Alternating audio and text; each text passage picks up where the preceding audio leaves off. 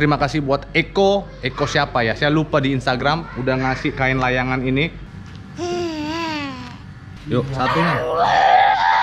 Nah, ini pemegangnya ini goyang. Anak kecil di mangsa celepuk ini dia. Yup. Ada ikan lele dalam duanya. Tapi di bawah banget, nggak kelihatan. Waduh.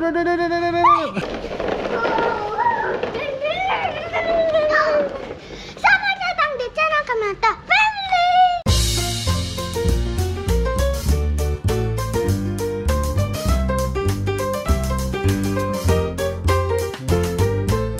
semuanya, senang banget hari ini karena hari ini saya akan merakit layangan celepuk knockdown 2 meter 20 cm. Wuh, ke gini aja deh, mereng aja.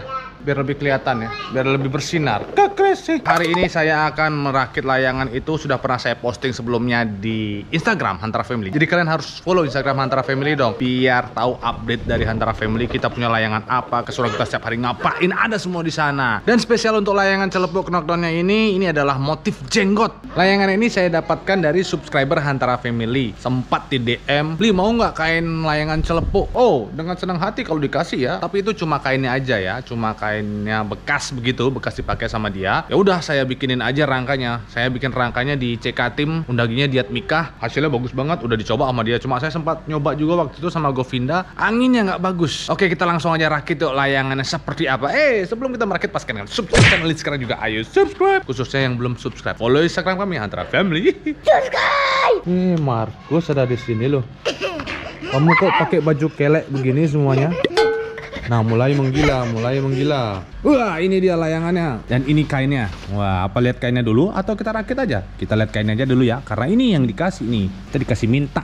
Asik kan, gratisan. Tuh, kalau kalian lihat ya, ini udah dijadiin knockdown karena ada velcro-nya begini. Sebelumnya nggak ada. Motifnya dijahit. Woi, coba buka sebelah sana, Lukas. Buka sebelah sana itu. Ya, ah, itu dah. Lebarin lagi. Iya. Eh kebalik ini. Iya. Wah, celepuk motif jenggot. Keren kan? Uh, gede banget tuh. Uh. 2 meter 20 cm. Ini loh dijahit nih semua nih. Biasanya kalau ini kan motifnya dilem ya, tapi ini dijahit. Dilem dan dijahit jadi ada double-double begitu. Keren ya dari motifnya aja. Oke, sekarang kita rakit aja yuk bagaimana dia kalau sudah dipasangin rangka. Rangka mana rangka? Hah, ini dia rangkanya. Ini rangkanya. Sarung. Udah bikin sarungnya ya. Ini saya bikin sendiri sarungnya ini. Jadi biar tidak kena kutu bambu ataupun jamur-jamur, semut dan segala macam atau kamu juga ngambil ke Krisi. yuk dibuka yuk. Markus, celepuknya mati nanti kalau kamu injak-injak. Nangis ya lo nanti. Sarungnya ini saya bikin dari kain bekas ya, bekas-bekas bikin layangan gitu daripada dibuang disambung-sambung aja jadiin sarung. Jadinya agak kelet ya, apa kelet itu? Ngepres gitu ya. Jadi harus pelan-pelan. Ada yang nginjek-nginjek lagi loh. Ini bayinya siapa ini? Hei, Ini makan lagi kok. ah, woi, sudah mulai kelihatan ini. Ya. Lama banget mukanya ini ya. Kalian harus sabar karena emang ini kelet banget nih, ngepres banget kainnya. Dan sambil kalian tunggu, subscribe dulu punya. ke Crazy. Udara. Apa kamu di sini? Lukas, jangan goyang-goyang nah, pusing nanti yang nonton. Ini Lukas yang megang kameranya. Oke, ini dia layangannya. Udah mengkilat di pernis untuk batang bohnya menggunakan pipa ini dalamnya. Sebelumnya menggunakan pure dari bambu, katanya keberatan. Undaginya bilang begitu. Jadinya sekarang diganti dan dilapisin dengan bambu. Sekarang kita akan merakitnya yuk. Lukas bantu Lukas dibuka. Bantuan akan datang. Tobi.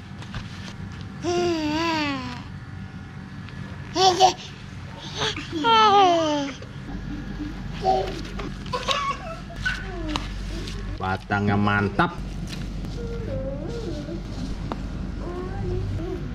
Eh, Tobi kamu ikut-ikut aja ya. Dia mau ikut-ikut awas mata layanganku, awas mata. Hei, ngapain kamu? Kamu kayak di salju. Nanti baru gatal-gatal kamu ini. Ya ampun, ya ampun. Dia mau ngambil. Nah, kan diambil sama dia. Ih, tunggu dulu. Aku pasang dulu nih. Tobi, geser top. Iya, dia mau ikut ngerakit, Duk. Pelayang sejati kamu ya?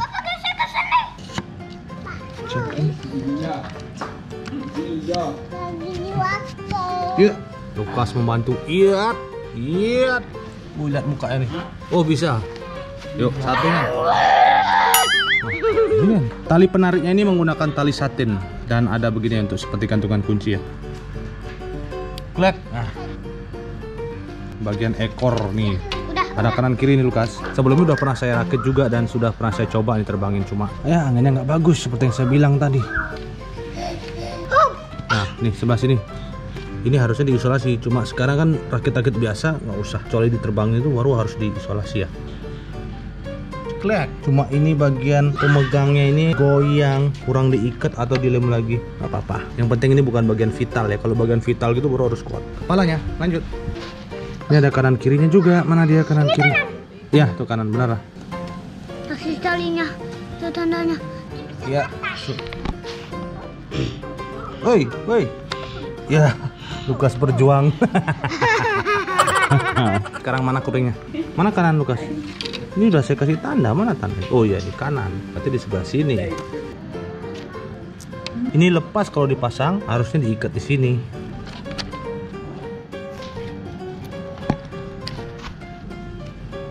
Sekarang kita pasang kainnya. Woi, gede banget ya. Woi, woi, woi, woi, woi, minggir, woi, woi, woi, woi, woi, woi, kejerat, nah, nah, nah.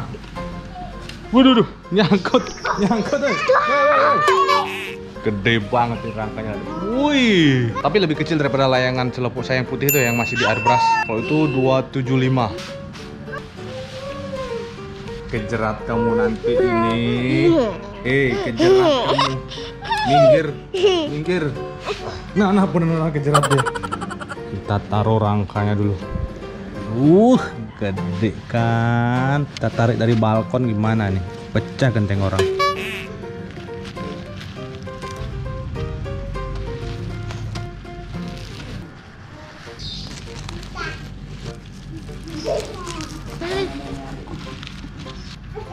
Kamu pelayang sejati ya?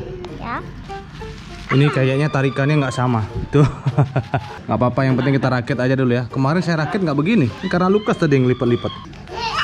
Markus lagi ribut sama Tobias. Lukas lagi berjuang. Wait, wait, ya, udah pas. Udah jadi. Waduh, woi. Woi, woi, woi, woi, woi, woi, woi, Pak, Pak, Pak. Pelan-pelan, Pak.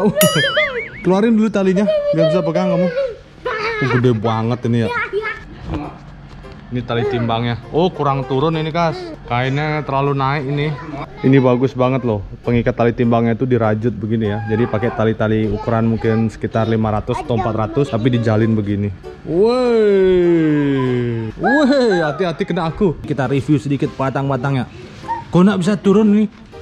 Wadah, ada Markus ini. Hei, minggir kamu minggir. Apa nih Markus nih? Keren sih. Iya, iya, iya, iya. Woi, bagus ya rangka-rangkanya. Udah dipernis, hasil-hasilnya juga bagus, tidak mengecewakan. Tayangan ini udah dites terbang sama yang buat sama undaginya. Dia nerbanginnya pakai kerek gitu. Jadi tali timbangnya pendek. Saya nggak berani nyoba pakai tali timbang pendek dan sempat sama Govinda juga bikin tali timbang yang lebih panjang. Udah dicoba waktu itu di pantai Merkur, cuma anginnya nggak ada. Ya nggak apa, nanti kita coba aja. Misalnya kalian pengen lihat, tulisin aja di kolom komentar. Ntar kita terbangin ya. Karena sekarang ini anginnya udah mengarah ke barat dan bagus banget. Ke Chris, mudara. ya coba diberdiriin Lukas. Lukas sudah bisa nunjuk. Wah, robot itu kamu. Ini adalah celepuk motif jenggot. Wih. Hei. Awas kamu dimakan celepuk. Tobias. Tobias. Mana layangannya? Iya, mana layangannya? Eh, cari layangannya. Ayo cari layangannya. Ah, Wah. Coba, coba, coba. Gede banget ya layangannya. ya. Wah, tingginya sesaya ini. Oh Iya. 100 berapa ini? Tinggian layangannya ini 180 mungkin. Coba kita ukur Lukas, ambil meterannya. Kalian pengen lihat anak kecil di mangsa celepuk ini dia. Yup, hmm, dimakan sama celepuk Markus ya. Yuk kita ukur Lukas. Paling bawah dong. 200 pas 200 pas ini. Kemarin undaginya bilang 220 dari atas sampai bawah. Eh, ini pegang sini Markus. Bener saya bilang 180 kan. 180 sampai bawah sini. Dari ujung sana tuh dari kepala. Bagus. Eh. Kami baru aja renovasi rumah sedikit. Itu ada Pamus yang perbaikin rumah kita tuh. Baru selesai. Di sini ada peliharaannya Lukas dan Markus. Coba kita lihat ya ada apa di sini. Ini bukan cat, kaleng aja cat. Wah, ada ikan lele. Tuh ada ikan lele dalam duanya. Tapi di bawah banget, nggak kelihatan. Rencana saya mau pelihara lele dari kecil gitu ditaruh di ember, pasti bisa jadi besar. Kita kasih makan terus tiap hari. Lukas mainin layangannya terus loh. Coba. Waduh, waduh, waduh, Oke, yang tadi belum subscribe silahkan di subscribe channel ini. Itu aja keseruan kita hari ini. Oh ya, jangan lupa follow Instagram kami Hantara Family ya. Terima kasih buat Eko. Eko siapa ya? Saya lupa di Instagram udah ngasih kain layangan ini. Kalau ada yang mau ngasih lagi silahkan. Cintai keluarga kalian, sayangi keluarga kalian. Itu aja dari kita bersama. This is a Crazy.